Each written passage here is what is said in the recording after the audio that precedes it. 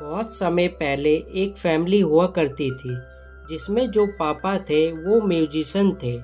लेकिन पापा का एक सपना भी था दुनिया तक अपना म्यूज़िक पहुंचाना। और एक दिन उन्होंने गिटार उठाया और चले गए। फिर लौट कर कभी नहीं आए। मम्मी अकेले पड़ गई और सुर ताल से हर तरह का नाता तोड़ने के बाद आमदनी का एक नया तरीका अपनाया। उन्होंने जूते बनाने का काम सीखा। फिर वो काम अपनी बेटी को सिखाया और बाद में दामाद को भी सिखाया। फिर नाती पोतों को भी नहीं छोड़ा और जिस घर को म्यूज़िक ने बर्बाद किया, उसे जूतों ने आबाद किया। और ये जो मोहतरमा है, ये मेरी दादी की दादी दादी एमेल्डा है और हमारी फैमिली हर साल इनकी कहानी सुनाती है, खासकर श्रद्धांजलि दिवस में। और ये उनकी छोटी बच्ची, मेरी परदादी कोको। पर मैं इन्हें अपनी सारी बातें बताता हूँ। और ये है मेरी दादी, बड़ी दादी कोको की बेटी। संगीत से इतनी नफरत, शायद ही कोई फैमिली करती होगी। लेकिन मैं इन जैसा बिल्कुल नहीं हूँ। मुझे संगीत से बहुत ज़्यादा प्यार है। और मैं बड़ा होकर ऑनेस्टो डेलाक्रूज जैसा बनना चाहता हूँ। दुनिया के सबसे बड़े म्यूजिशियन जिसके गाने के लोग दीवाने थे। पर एक दिन एक बड़ी सी बेल ने उन्हें कुचल दिया। तो ये सब मिगेल एक म्यूजिशन को बता रहा होता है। और वो मिगेल से कहता है कि, तुम अपनी फैमिली को बता दो कि मैं बड़ा होकर म्यूजिशियन बनना चाहता हूँ। पर तभी वहाँ पर उसकी दादी आ जाती है, जो उस म्यूजिशियन को मार कर वहाँ से भगा देती है। और मिगेल से कहती है कि तुम इस सबसे दूर रहो, जिसके बाद वो उसे लेकर घर में आ जाती है, जहाँ पर सब उसे समझाते हैं। पर मिगेल कहता है कि मुझे आज रात होने वाले गाने के कंपटीशन में भाग लेना है। तो उसकी दादी उसे लेकर एक कमरे में आ जाती है और कहती है कि हम जब तस्वीर के साथ चढ़ावा चढ़ाएँगे, तभी हमारे पूर्वज हमसे मिलने आ पाएँगे। पर मिगेल वहाँ से भागकर अपनी खुफिया जगह में चला जाता है, जहाँ पर उसने अपने फेवरेट म्यूजिशियन ओमेस्टो डेलाक्रूज की तस्वीर लगाई होती है और वो डिसाइड करता है कि मैं श्रद्धांजलि दिवस में होने वाले गाने के कंपटीशन में पार्टिसिपेट करूँगा, जिसके लिए वो सबसे छुपकर जाने लगता है।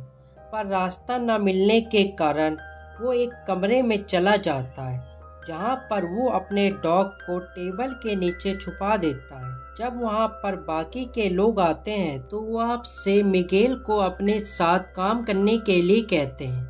तो उनके जाने के बाद उसके डॉग से उनके पर दादा दादी की तस्वीर गिरकर टूट जाती है और उसके हाथ में गिटार देखकर उसे लगता है कि ओमेस्टो डेला क्रूज उसके पर दादा है। और ये बात वो सबको बताता है कि मैं भी बड़ा होकर ओनेस्टो डेला क्रूज की तरह म्यूजिशियन बनना चाहता हूँ, जिसके बाद उसकी दादी उसका गिटार तोड़ देती है और कहती है कि, तुम म्यूजिशियन नहीं बनोगे।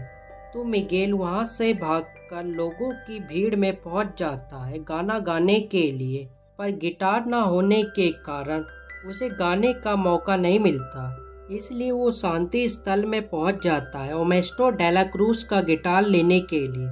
जब वो खिड़की तोड़कर अंदर जाता है तो वहाँ पर वो गिटार होता है, जिसे लेकर वो बाहर आने लगता है। पर वहाँ पर उसकी आवाज़ से लोग आ जाते हैं, जो उसे देख नहीं पाते, जिससे मिगेल को भी कुछ समझ में नहीं आता। और वो वहाँ से भागने लगता है और बाहर उसे बहुत सारे आत्माएँ दिखती हैं, जिसमें उसके परिवार वाले भी शामिल होते हैं और उन्हें भी कुछ समझ में नहीं आता। इसलिए वो मिगेल को लेकर मामा इमेल्डा के पास आ जाते हैं, एक पुल के ऊपर से, जिसके पीछे पीछे उसका डॉग दांते भी आ जाता है और यहीं पर हमें एक और आदमी को दिखाया जाता जो अपना भेष बदलकर पुल पार करने की कोशिश करता है, पर किसी ने उसकी फ़ोटो नहीं रखी होती, इसलिए वो पुल पार नहीं कर पाता। जब मिगेल को मामा वेल्डा के पास लाया जाता है तो वो भी उसे देखकर हैरान हो जाती है, और ये सब उसे लेकर एक आदमी के पास आते हैं, जहाँ पर मिगेल उन्हें बताता है कि मैं आपकी तस्वीर अपने साथ लेकर आया हूँ, इसलिए आप शायद पुल नहीं पार कर पा रहे हो। तो मामा इमेल्डा एक पंखुड़ी से जादू करके उसे वापस भेज देती है, पर वो गिटार को दोबारा छू लेता है, इसलिए वो वापस से वहीं पर आ जाता है और बहाना बनाकर वहाँ से निकल जाता है, जिसका पीछा उसकी फैमिली करती है। तो रास्ते में उसे हेक्टर मिलता है, जिससे मिगेल मदद माँगता है। तो हेक्टर उसकी मदद करने को तैयार हो जाता है। और उसे लेकर वहाँ से निकल जाता है। तो उन्हें ढूँढने के लिए मामा मेल्टा एक रूही परिंदे की मदद मांगती है और दूसरी तरफ़ हेक्टर मिकेल के चेहरे में पेंट लगाकर उसे भी अपने जैसा बना देता है, जिससे उसे कोई भी पहचान ना सके। और वो उसे अपनी फ़ोटो भी देता है कि तुम वापस लौटते समय मेरी फ़ोटो भी ले जाना। तो ये दोनों वहाँ से एक जगह में पहुँच जाते हैं। जहाँ पर उन्हें पता चलता है कि ओनेस्टो डेला क्रूज यहाँ पर नहीं है। वो तो अपने घर में पार्टी कर रहे हैं, जिसके बाद हेक्टर मिगेल को लेकर एक आदमी के पास आ जाता है उसका गिटार लेने के लिए। तो वो उसे अपना गिटार दे देता है, जहाँ से होते हुए वो दोनों एक जगह में पहुँच जाते हैं, जहाँ पर गाने का कंपटीशन चल रहा होता है। और मिकेल भी स्टेज में जाकर गाना गाता है, जो लोगों को बहुत पसंद आता है, और उसे ढूंढते ढूंढते वहाँ पर उसकी फैमिली भी आ जाती है, और ये दोनों वहाँ पर छुप जाते हैं। तो वहाँ से मिगेल अकेला ही ओनेस्टो डेलाक्रूस के पास चला जाता है, उससे मिलने के लिए उसके घर में। तो अंदर जाने के लिए उसके पास इनविटेशन नहीं होता, इसलिए उसे बाहर निकाल दिया जाता है। तो उसकी मदद कुछ म्यूजिशन करते हैं, जो उसे अपने साथ अंदर ले जाते हैं, जहाँ पर बहुत बड़ी पार्टी चल रही होती है, और ओनेस्टो डेला क्रूस उन लोगों के बीच में होते हैं। तो मिगेल सब का ध्यान अपनी ओर करने के लिए वहाँ पर गाने गाने लगता है, जिससे वो लोगों की नज़र में आ जाता है। तो सबके जाने के बाद वो ऑनेस्टो डेलाक्रूज से कहता है कि, मैं आपका परपोता हूँ और आप मुझे आशीर्वाद दो कि मैं म्यूजिशियन बन सकूँ। पर तभी वहाँ पर हेक्टर आ जाता है, जो मिगेल से कहता है कि ये आदमी चोर है, इसने मुझे मारकर मेरे सारे गाने चुरा लिए तो वहाँ पर Ernesto de la Cruz Hector की फ़ोटो को छीनकर अपने पास रख लेता है और अपने गार्डों को बुलाकर उन दोनों को वहाँ से एक गड्ढे में फेंक देता है जहाँ पर उसे पता चलता है कि हेक्टर ही उसके परदादा है, जिसके गाने चुराकर ओमेस्टो डेलाक्रूस ने इतना नाम कमाया। पर तभी उसे ढूंढते हुए वहाँ पर रूही परिंदा आ जाता है एमेल्डा को लेकर, जो उन दोनों को बचाकर अपनी बाकी की फैमिली के पास ले जाती है, जहाँ पर मिगेल उन सबको बताता है कि हेक्टर हमसे मिलने इसलिए नहीं आ पाए, क्योंकि ओमेस्टो डेलाक्रूस ने उन्हें जहर देकर मार दिया होता है। तो ये सब डिसाइड करते हैं कि हम हेक्टर की फ़ोटो लेने के लिए ओमेस्टा डेलाक्रूस के पास जाएँगे। जब ये उसके पास पहुँचते हैं तो वहाँ पर वो इन्हें देखकर हैरान हो जाता है और उसके जेब में हेक्टर की फ़ोटो होती है, जिसे लेने के लिए ये सब उसके पीछे भागते हैं और उनके गार्डों के रोकने में ये उन्हें हराकर ओनेस्टो डेला क्रूज की जेब से हेक्टर की फ़ोटो निकाल लेते हैं, पर तभी वो सब लोगों के बीच में पहुँच जाती है।